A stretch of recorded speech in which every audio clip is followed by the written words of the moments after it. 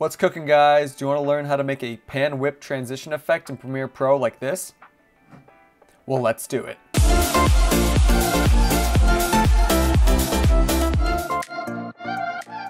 Alright guys, so the first thing we're going to want to do is right click in our project area, do new item and adjustment layer.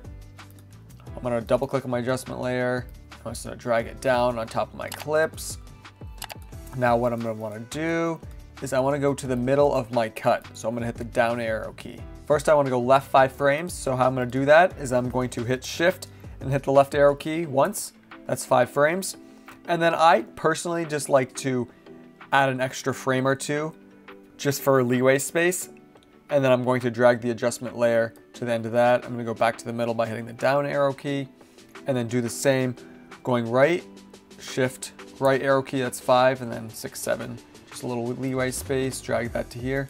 Now we're gonna wanna go into our effects tab, which our workspaces are now over here if you have the new Premiere, and then you're gonna wanna go to effects, and then we're gonna go into our effects panel, and we're gonna type in offset, and under distort offset, and I'm gonna drag that on top of my adjustment layer.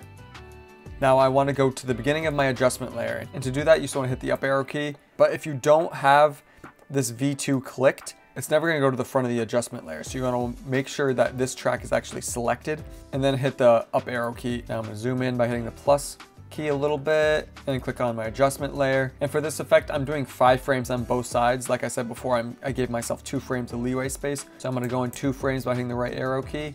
So that's five frames to the middle. And now what we wanna do is start adjusting our offset.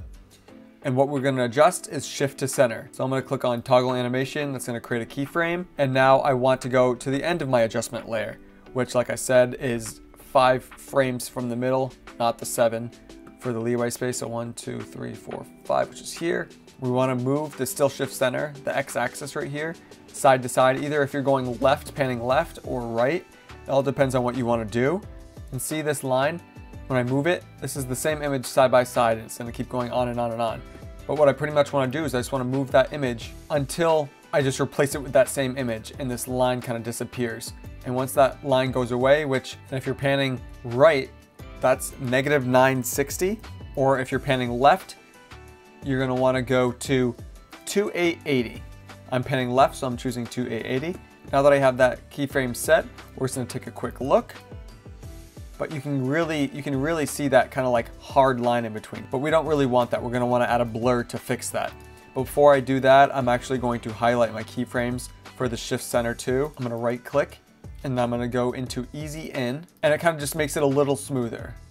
But you can also hit the arrow key down on the shift center too and you can kind of see your graph. You actually have to hit on the keyframe to see the graph lines where you can actually drag and adjust the graph. So if I wanted it to be more just center, I can do that. Or if I want it to be more towards the end or the beginning, I can just adjust it how I want the speed ramp to be.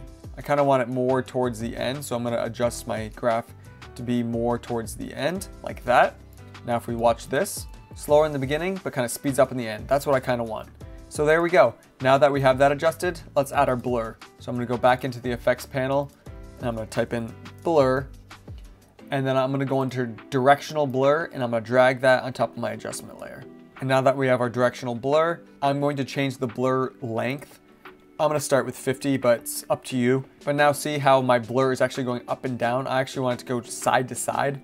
So I'm going to change the direction to 90 or negative 90, doesn't really matter. Both are side to side. Now that I have my blur set to how I want it, now I'm going to adjust it with some keyframes. I'm gonna go back to the center of my cut by hitting the down arrow key.